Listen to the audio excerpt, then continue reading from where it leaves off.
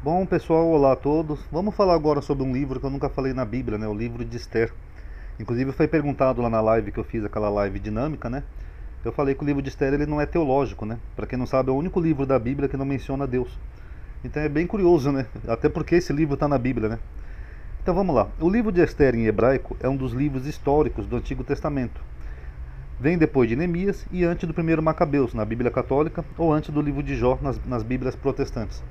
Ele possui 10 capítulos, ou 16 né, na Vulgata Latina, que a Vulgata reúne adições né, do texto hebraico que foram encontrados na Septuaginta, em seis capítulos no final. Conta com mistério uma jovem judia, que estava entre os deportados, tornou-se imperatriz da Pérsia, ao se casar com o imperador Assuero. Geralmente esse Assuero é identificado como Xerxes, né, primeiro, imperador persa. E como seu primo e tutor Mordecai descobriu um complô contra a vida do rei, como o grão-vizir Amã procurou liquidar os judeus, ou seja, ele queria matar todos os judeus. Como Esther interveio, arriscando a própria vida, como o príncipe Amã foi enforcado né, pela conspiração dele para matar os judeus, e os judeus autorizados a fazer um contra-pogrom, né, cujo aniversário celebra até hoje como a festa do Purim. Ao contrário de muitos livros do Antigo Testamento, o livro de Esther é puramente sobre nacionalidade e não sobre religião, pois Deus não é referido uma única vez sequer no livro. Toda a história ocorre em Susa, uma das capitais do, do, do Império Persa. O Império Persa e os, e os, reis persas, nesse caso, Xerxes, aparentemente, né, pois parece que o nome é são retratados sob uma luz muito favorável. Não se, sabe, não se percebe a razão do livro de Esther fazer parte do Antigo Testamento. Por quê? No texto não encontramos uma única referência a Deus. Por isso não deveria ser considerado como um texto sagrado. Que nem eu falei na live, ele não é um livro teológico. Os protagonistas são Esther e seu primo Mordecai, claramente os nomes das divindades persas, Ishtar e Marduk, que na mitologia persa também são primos. Inclusive, uma hora eu vou fazer um outro vídeo mostrando sobre isso daqui, tá? Esther e Marduk, tá? O livro aparece apenas um belo conto persa, adaptado aos judeus. Nesse conto, uma judia chamada Esther chega ao trono persa, casando-se com o rei Assuero, que é desconhecido fora da Bíblia, mas a tradição identifica como Xerxes I ou Atarxés. Depois ela e seu primo Mordecai conseguem convencer o rei a anular um decreto-lei que tinha sido fomentado por um maldoso ministro da corte chamado Amã, que ordenava o genocídio dos judeus em todas as províncias do império.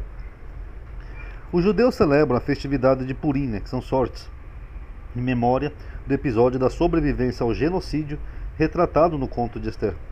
A inclusão de Esther no canon bíblico é polêmica, dividindo muitos teólogos, tanto cristãos como judeus, devido a estar ausente de alguma das mais antigas listas dos livros canônicos, ou seja, ele é recente, por nunca ser mencionado nos livros do Novo Testamento, por não possuir referências claras a Deus e as práticas religiosas pelo seu excessivo nacionalismo judaico e espírito de vingança. Nem Esdra, nem Neemias, nem o Sirácida mencionam essa história. Em Qumran, no manuscrito do Mar Morto, não foram encontrados fragmentos desse livro. Estranho. Enquanto que foram encontrados o manuscrito de todos os demais livros da Septuaginta, inclusive de todos os deuterocanônicos. Outras problemáticas do livro. Ao contrário da história narrada em Esther, os judeus eram gratos aos persas por terem devolvido seu reino e possibilitado a sua reconstrução. Então é estranho que na história de Esther há lá uma conspiração e o rei persa permite né, que se mate todos os judeus, sendo que na verdade era o contrário. Os judeus só voltaram a ter um rei, um templo, tudo de novo, graças aos persas. Vemos essa gratidão em outros livros da Bíblia. Por exemplo, Esdra e Neemias. Nesses dois livros, autores falam da reconstrução de Jerusalém e do templo, tendo ambos sido destruídos pelos babilônicos. O que é interessante notar nesses dois livros é a cumplicidade e o envolvimento que o Império Persa tem na reconstrução da nação judaica. Esdra, em especial, refere mesmo que as outras nações não receberam o mesmo nível de atenção por parte dos persas, ou seja, os judeus foram privilegiados, e por isso mostram-se ciumentas em relação aos judeus. A Pérsia ama os judeus e ninguém mais. Esses dois livros mencionam sempre de forma muito positiva os imperadores persas, incluindo Ciro, Xerxes, Dário e Artaxerxes.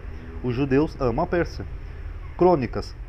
Os livros de crônicas no Antigo Testamento são reedições dos livros de Samuel e Reis, realizados no período persa. Numa passagem de crônicas, o autor alega que o imperador Ciro foi comissionado por, por Adonai para favorecer a reconstrução da nação e do templo judaico. Porém, no primeiro ano de Ciro, rei da Pérsia, para que se cumprisse a palavra de Deus pela boca de Jeremias, des despertou Deus o espírito de Ciro, rei da Pérsia, o qual fez passar pregão por todo o seu reino, como também por escrito, dizendo: Assim Ciro, rei da Pérsia, Adonai, Deus dos céus, me deu todos os reinos da terra, e me encarregou de lhe edificar uma casa em Jerusalém, que está em Judá. Quem dentre vós e de todo o seu povo que suba a Deus, seu Deus, seja com ele. Então, nós vemos aqui em Crônicas que foi o próprio Deus que deu poder ao Ciro, ao rei da Pérsia. Esse mesmo texto encontra-se também em Esdra 1 ao 3.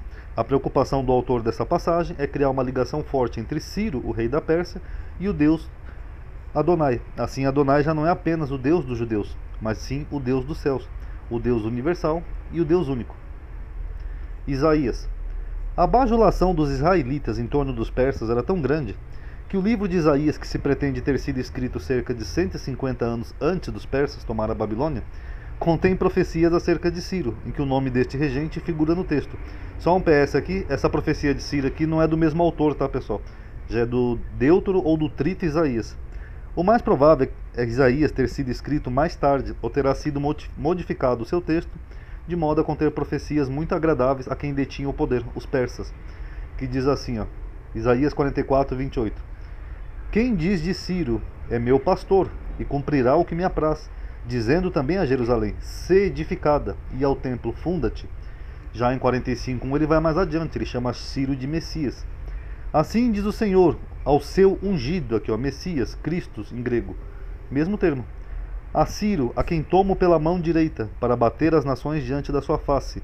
Eu soltarei os lombos do reis, para abrir diante dele as portas, e as portas não se fecharão. E na versão grega tem ali é, Cristos, né, que é ungido, Messias, o mesmo termo.